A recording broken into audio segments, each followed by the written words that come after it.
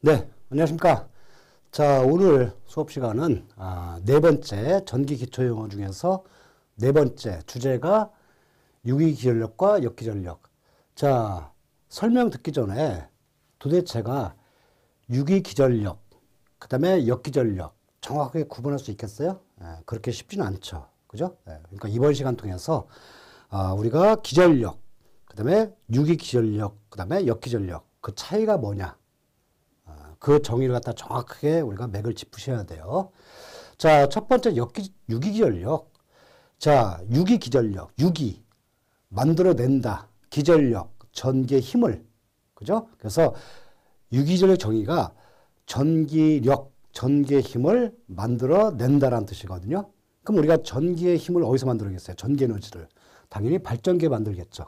물론 지금은 기초용어 시간이니까 제가 발전기 원리까지는 설명을 못 해드리고 이 발전기 원리는 여러분들 전기 기기 시간 때 충분히 자세히 설명을 들을 거예요.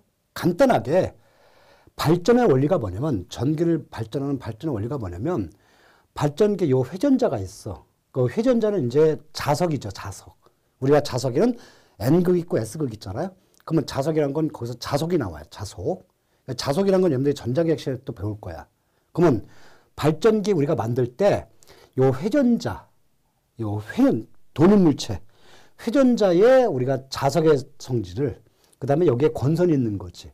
그러면 요 막대 자석이 계속 회전하면서, 계속 회전하면서 이 고정자 코일에다가 전기를 갖다 계속 유기시키죠.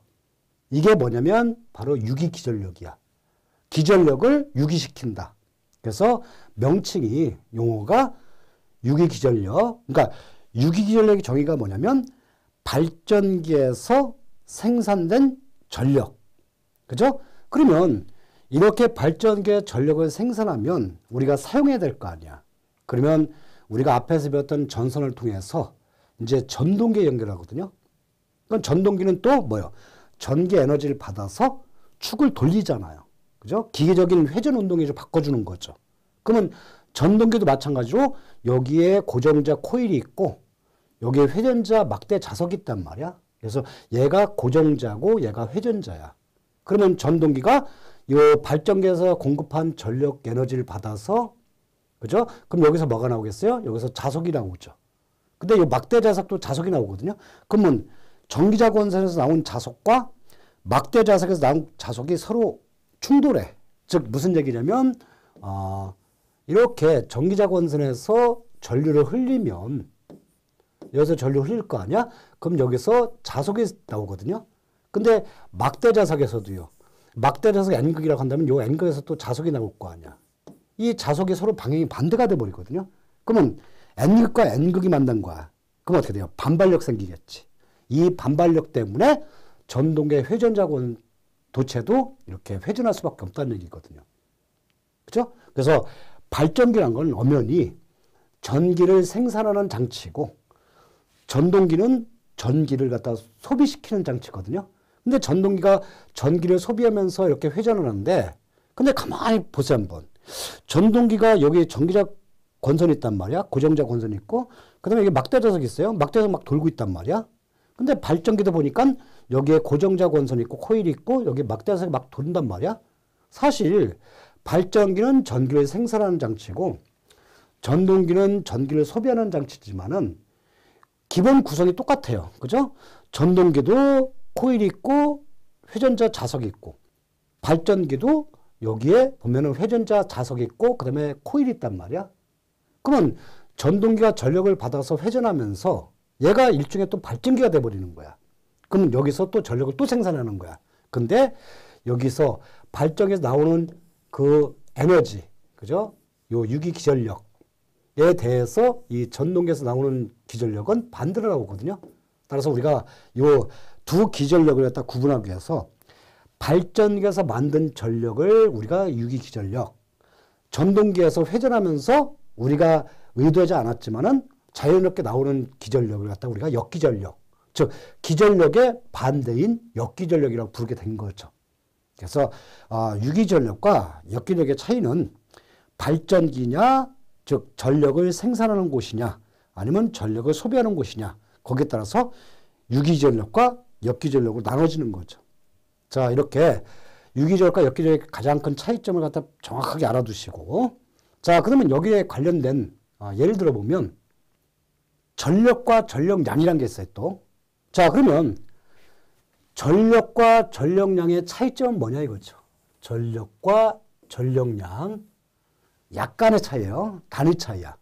그럼 예를 들어서 어, 전기를 소비하는 어떤 전기 난로가 있다고 해보자고요. 우리가 이걸 갖다 우리가 뭐냐면 전열기라고 그래. 전열기.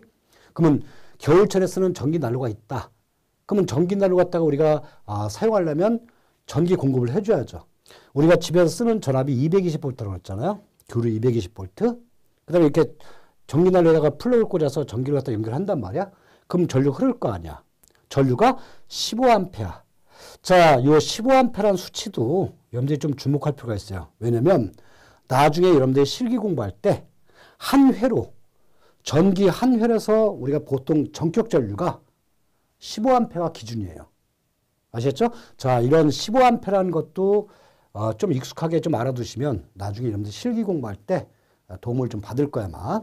자, 그러면 전기 공부했잖아요. 그럼 전기란 것은 전압이 있고 전류가 있잖아요. 그죠? 그러면 여기서 나온 전력은 P는 VI의 코사인 세타. 근데 참고적으로 우리가 전력은 단위가 와트예요, 와트. 요 W라고 하는 단위가 어, 뭐의 약자를 딴 거냐면 어, 와트. 와트도 사람 이름이에요. 그래서 그 와트라는 사람 이름을 따서 단위를 따 우리가 전력을 와트라고 하기로 하자. 다 의미가 있는 거죠. 자, 그래서 전력을 갖다 구하는 방법이 전압, 그 다음에 전류, 그 다음에 여기에 또 새로운 이상한 거 있죠. 코사인 세타. 자, 기초 시간이니까 아, 이 코사인 세타 자세히 설명 못 하겠지만은 이 코사인 세타는 게 뭐냐면 전압과 전류의 위상차각. 그래서 이거 갖다 우리가 영리라고 보통 표현하는 거죠. 그죠? 예, 그래서 전력 구하는 방법은 P는 전기 에너지니까 전압에다가 전류 곱하고 그 다음에 뒤에서 이제 우리가 본 수업 때 배우겠지만 영력을 곱해서 우리가 전력이라고 구하는 거죠. 지금 전력의 단위가 와트잖아요. 근데 우리가 생각해 보세요. 전기난로를 뭐 1분 동안 쓰는 것도 아니고, 그죠? 뭐 1초 동안 쓰는 것도 아니고, 전기난로 쓰면은 뭐 수십 분 동안 쓰고 몇 시간 동안 쓸 수도 있거든요. 그러면 쓰는 시간이 있단 말이야. 그러면 위에 전력에다가 아, 우리가 시간까지 곱해보자 이거지. 즉 전력과 전력량의 차이점은 전력은 시간을 곱하자는 에너지 양이고 전력량은 전력에다가 시간까지 곱한 전기 에너지 양이에요. 즉 그래서 우리가 보통 전력량은 전력은 보통 파워 약자 따서 W를 아 P라고 표시하고 전력량은 구분하기 위해서 W라는 기호를 쓴 거야. 그러면 전력량은요, 위에 구한 전력에다가 여기다가 사용 시간까지 곱해주는 거지. 즉, VI의 코사인 세타에다가 요 시간까지 곱해서 우리가 전력량으로 계산하는 거죠. 그러면 당연히 단위가 바뀌겠지. 전력은 W였는데 전력량은 W에다가 우리가 시간, 시간의 기준 단위가 뭐야? 초잖아, 초. 그래서 전력에다가 시간까지 곱해서 우리가 W, 와트, 세크라고 표현하는 거죠. 자, 전력량의 단위는 와트 세크예요. 세크. 그 다음에 우리가 물리에서 전력 W하고 시간 곱한 W 세크를 갖다가 아, 다른 기호 단위가 많이 들어갔을 거예요. 줄. 그래서 줄의 단위와 와트 세크의 단위는 같은 단위다. 평상시 때 이런 것도 알아두시면 좋아요. 자, 그 다음에 전력량과 열량의 관계. 자, 전력량의 열량의 관계는요, 다리 관계야. 전력량이란 것은 전기에서 많이 쓰는 전기 양이고, 에너지 양이고, 열량이란 것은 어떤 연력학, 기계 쪽이라든가 어떤 열에 관련된 그 용어거든요. 그러면 전력량이란 것은 전기 분야에서 쓰는 단위고, 기호고, 열량이란 것은 기계라든가 연력학 쪽에 쓰는 어떤 용어거든요. 그러면 차이가 있는 거지. 자, 전력량과 열량의 관계는 어떤 차이가 있느냐? 조금 전에 교류 220V 인가에서 요 전기에다가 15A 전류 흘렸단 말이야. 그러면 이 전기난로에서 뭐가 나오겠어요? 전기 에너지 집어넣어서 전기난로라는 것은 전열기라는 것은 여기서 열을 내는 거죠. 그죠? 그래서 전기난로 쓰는 용도가 뭐냐면 전기 에너지를 열로 바꿔줘. 그죠? 그래서 난방용으로 쓰잖아요. 겨울철에 이제 전기난로 난방용으로 쓰고 있잖아요. 그러면 우리가 전력량이라는 것은 아까 배웠듯이 W는 PT, 여기서 P는 전력이고 T는 시간이니까 전력량의 단위는 분명히 와트 세크예요. 그죠? 근데 제가 와트 세크의 같은 단위가 제가 줄이라고 그랬잖아. 그죠? 전기의 우리가 전력량의 단위는 줄 또는 와트 세크를 많이 쓰거든요. 그러면 이 전기널에서 연령이 나오는 거죠. 근데 우리가 에너지 단위 1줄이요. 열량, 우리가 보통 열량이 칼로리잖아, 칼로리. 1줄은 0.24 약 칼로리에 해당되는 거죠. 그러면 우리가 열량은 열량은 위의 전력량 W 이퀄 PT에다가 뭘 곱해야겠어요? 1줄은 0.24 칼로리니까 요 PT에다가 0.24를 곱해줘서 단위를 갖다가 줄 단위에서 우리가 칼로리 단위로 환산해 줘야죠. 아시겠죠? 즉, 요 단위 관계 우리가 1줄은 0.24 칼로리다. 예, 간혹 가다가 문제 풀다 보면 문제 출제자가 1줄은 0.24 칼로리라고 알려주는 경우도 있지만은 또 어떤 문제는 어떤 계산 문제에서는 1줄은 0.24 칼로리는 그 조건을 문제에서 안 알려준 경우가 있어요. 그럴 경우는 여러분들이 이렇게 1줄은 0.24 칼로리 적용해서 문제를 푸실 줄 아셔야 돼. 그런 뜻에서 제가 알려드린 거예요. 자, 그 다음에 또 우리가 공부하다 보면 전력이란 게 있고 마력이란 게 있거든요. 자, 전력이란 것은 전기 에너지야. 전기 에너지. 전기 에너지 줄인 말이 전력이란 말이야. 전력, 전기의 힘. 마력이란 것은요. 마, 그죠? 말이란 뜻 아니야, 말. 말의 힘이란 뜻이거든요. 자, 그러면 예를 들어서 전력과 마력의 차이점을 갖다가 제가 설명해 위해서 한 예를 들어 볼게. 자, 이렇게 말이 있다고 해보자고요. 말 한 마리가 있어요. 그럼 이 말이라는 게 어떤 힘을 낼 거 아니야. 그럼 말에다가 줄을 연결해서 어떤 물체를 갖다가 놨다고 해보자고요.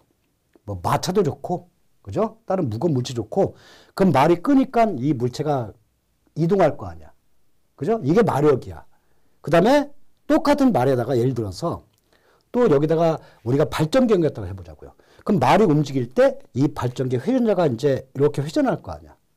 그럼 뭐가 생기겠어요? 여기서 전력 에너지가 생기겠죠. 자, 우리가 마력이란 것은 마력이란 건 보통 HP라고 표시해요. HP 단위가 그 HP가 뭐의 약자냐면 호스 파워야. 그래서 우리가 일마력이란 게 일마력이 게 무슨 말이냐면 말 한 마리가 끄는 힘. 말 한 마리가 끄는 힘. 그걸 갖다가 전기 에너지로 한번 환산해 보면 말 한 마리가 끌어서 발전기를 돌릴 때 나오는 전력 에너지는 몇이냐면은 1마력은 전기 에너지로 환산하면 746와트야. 즉, 말 한 마리가 만약에 전기를 갖다 만들어낸다. 발전용에서. 그러면 말 한 마리는 746와트의 전기를 생산할 수 있다는 뜻이에요. 그래서 지금 전력과 마력을 설명한 이유가 이것 때문에 1마력은 우리가 746와트에 해당되는 전력량을 만들어낸다. 전력을 만들어낸다. 자, 요 단위 관계. 1마력은 746와트다. 이것도 어, 상당히 중요한 어떤 기초 개념이에요. 그러니까 이런 내용을 평상시에 많이 알고 있어야 여러분들이 어, 전기를 공부할 때 어, 내용 파악을 쉬워, 쉽게 해서 막힘이 없는 거야. 계산 문제 같은 거 풀 때 특히. 문제에서 1마력은 746와트라고 안 알려주는 그런 문제가 있단 말이에요. 그럴 때는 여러분들이 1마력은 746와트 환산해서 문제를 푸실 줄 아셔야 돼. 자, 그 다음에, 어, 오늘 마지막 내용, 토크란 게 있어요, 토크. 자, 토크가 도대체 뭐냐? 토크 모르는 사람도 많죠. 그 다음에 토크가 단위가 두 가지야. 토크가, 어, 단위가 킬로그램 메타를 쓸 때가 있고요. 토크가 뉴턴 메타를 쓸 때가 있어. 그러면 단위가 왜 두 가지를 쓰느냐? 그냥 도대체 토크가 무슨 뜻이냐? 자, 어떤 중심축이 있으면 토크의 정의가 뭐냐면요.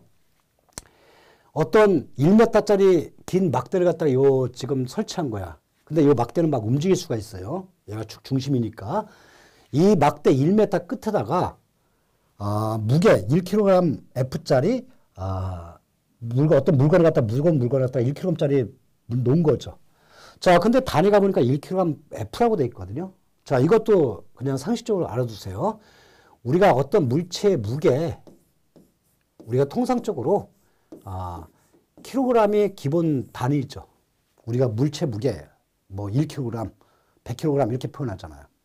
자, 이건 좀 약간 생략한 거고, 실제 정확한 단위는 엄밀히 말하면, 지금 저 그림상 있는 것처럼, 킬로그램 F야. 이 F란 게 뭐냐면요. 얘가 중력과 속도 약자예요. 중력. 중력이란 뜻이야. 즉, 정확하게 무게를 갖다 표현하려면 1kg F 이런 식으로 표현해야죠. 왜냐? 지구의 중력과 다른 행성, 예를 들어서 달. 달은 지구보다 중력이 좀 약해요. 그러면 지구에서 잰 1kg이란 게 달에서 쟀을 때 1kg 같느냐? 같지는 않단 말이야. 좀 가볍게 잰 측정이 된단 말이에요. 즉 엄밀히 표현하는 물체 무게는 지구에서 잰 물체 무게라고 해서 우리가 킬로그램 F라고 표시해 줘야 돼. 엄밀히 말하면.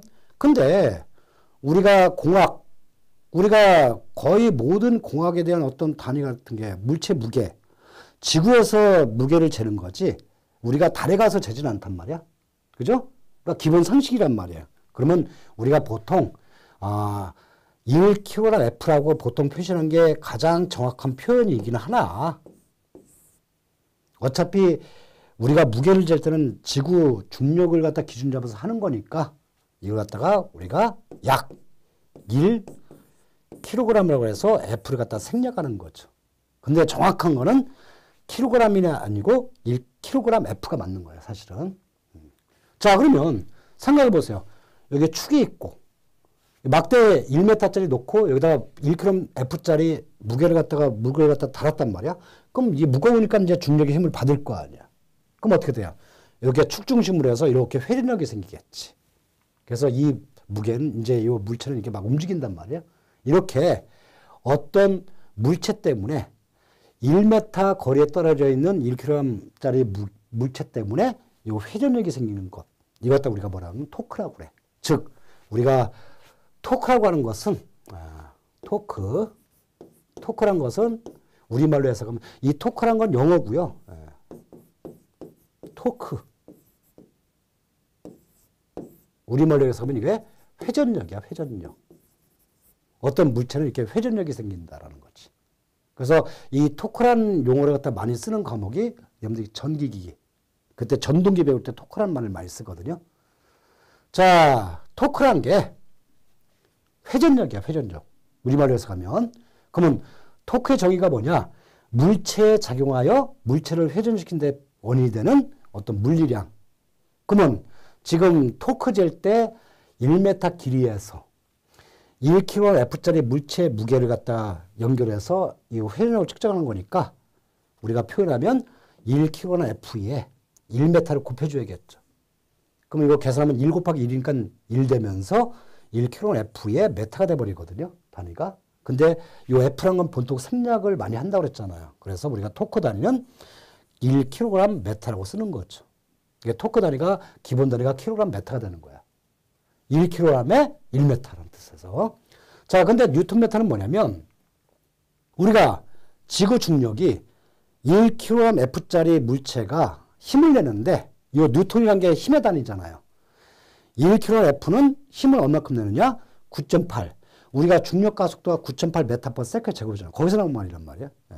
그래서 1kg 메타는 1 곱하기 9.8을 곱해줘서 뉴턴 메타로 환산해 줘야죠. 그럼 계산하면 9.8 뉴턴 메타가 되는 거야. 그래서 우리가 토크의 정의는 1m 떨어진 곳에서 1kg F짜리 물체를 달았을 때 그때 작용하는 회전력. 근데 단위를 갖다가 우리가 두 가지 단위를 쓰는데 1kg 메타 단위라는 쓸 때가 있고 얘를 갖다 뉴턴으로 환산해서 9.8 뉴턴 메타 단위를 쓸 때가 있다는 얘기죠. 즉, 요 지금 우리가 토크란 것이 어, 토크란 것이 1kg 메타는 환산하게 되면 어, 9.8 어, 뉴턴 메타로 우리가 환산이 가능하다는 얘기예요. 그러니까 여러분들 나중에 기기 공부할 때 1kg 메타하고 9.8 뉴턴 메타 많이 활용할 거니까 이번 시간 통해서 요 내용을 어, 정리하면 되겠어요. 자, 오늘 수업은 여기까지로 하기로 하고 다음 시간 주제는 삼상 전원이란 무엇인가에 대해서 또 주제를 가지고 우리가 또 공부를 또 할 거예요. 자, 오늘 수업은 여기까지 하겠습니다. 수고하셨습니다.